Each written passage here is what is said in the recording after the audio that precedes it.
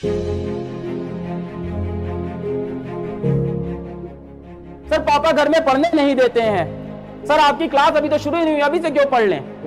Sir, अभी घर में लाइट नहीं आ रही है, कैसे पढ़ें? सर, एसी नहीं लगा है घर में, कैसे पढ़ाई करें? सर, मेरे पास पेन नहीं है, मैं कैसे पढ़ूं? दूसरे रूम में है। सर, नींद आती है रात में, सो जाए। सो जा मत कर पढ़ाई। सक्सेसफुल तू बनेगा भाई। कहानी तेरी चल रही है, मूवी तेरी है। हीरो तू है खुद। ना मैं हूँ ना तेरे माँ बाप हैं ना ये दुनिया है। तुम हीरो अपनी पिक्चर के। अगर अपनी पिक्चर के तुम हीरो हो तो स्टंट तुम्हें करने पड़ेंगे एक्टिंग तुम्हें करनी पड़ेगी सारे। सारा खेल तुम्हें खेलना। जब मैं घर में बैठ के तुम लोगों ने देखे कि नहीं देखे नए बच्चे हो आ, मैं इससे पहले बहुत गरीब था। तो घर में एक व्हाइट बोर्ड था सामने एक ट्राईपॉड होता था। वो था पहले तो ट्राईपॉड भी नहीं था। किताबें थी किताबों के ऊपर एक मोबाइल रखता था ऐसे पीछे सपोर्ट रखता था। और फिर कमरे का पंखा बंद करता था। एसी तो भूल जाओ, था ही। कमरे का पंखा इसलिए बंद करता था कि आवाज़ कैप्चर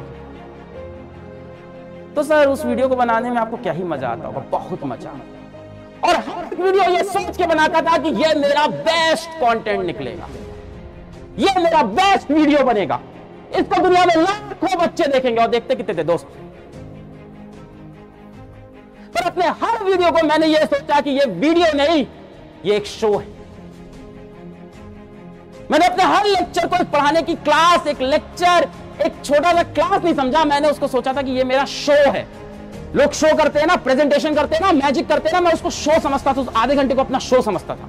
और उस लेवल पे उसके लिए सीरियस होता था, उस लेक्चर के लिए छह घंटे तैयारी करता था। उठा के देख लो मेरा दो साल पुराना वीडियो तब भी मैंने यही बात बोली, इससे हटा नहीं हूँ, तब भी मैं बोलता था कि एक लेक्चर बनाने में मुझे छह घंटा लगता है। आज भी मुझसे पढ़ाने में कहोगे, मुझे एक लेक्चर बनाने में आज भी छह घंटा लगता है।